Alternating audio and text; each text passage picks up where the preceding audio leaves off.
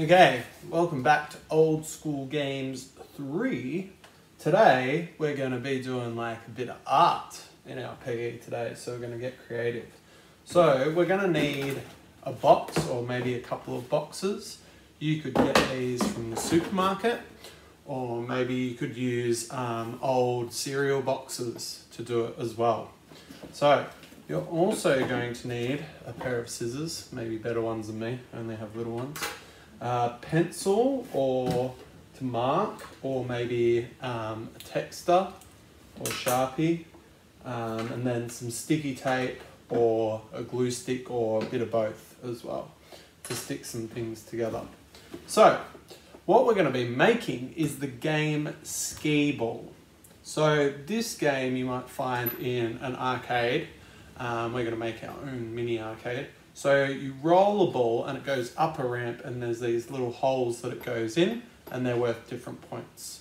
So I'm going to show you a couple of different ways we can make it. So we're focusing on making a ramp and then we're going to use like some household items like pots or pans or other things um, to help us with the score. You might need some paper as well to write down your score points because you can make them up as you go along.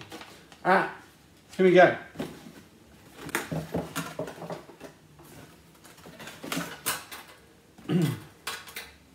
now, if your box doesn't come out like mine, I've already cut the edges here. I'm going to cut it off as if I don't have one of these boxes because this is actually a pretty handy box.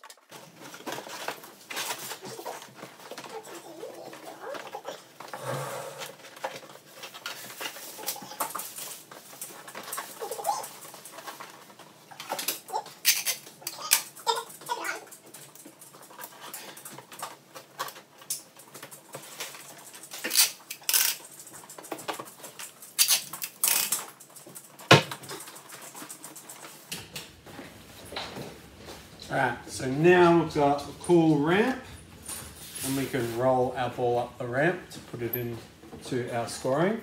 Now, if you want to make a more original version, you could add on, as we hit here, and you could have the holes cut out in here.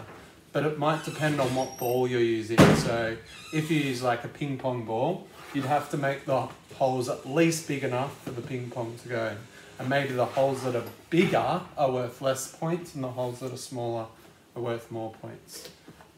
But I might show you that one later, but I'll just show you with pots and pans as well.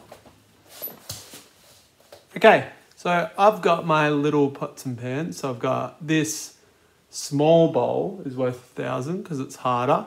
This one's medium, this pan it's worth 500 and this big one's worth 100 it's a bit easier to get into.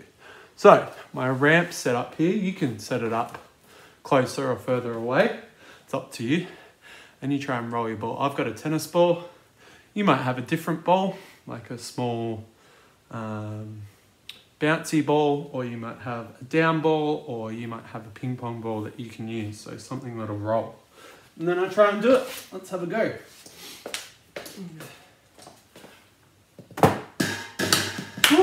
100 points. Let's see if I can get that thousand. Ooh, not quite. Try again. Oh, just bounced out. So you can see there, I had a little bit of success. And obviously, the further back you roll from, the harder it'll be. So you could roll back from further to make it harder.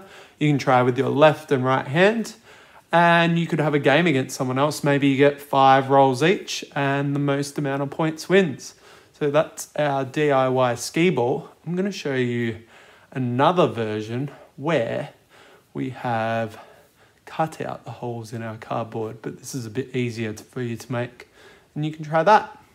Good luck.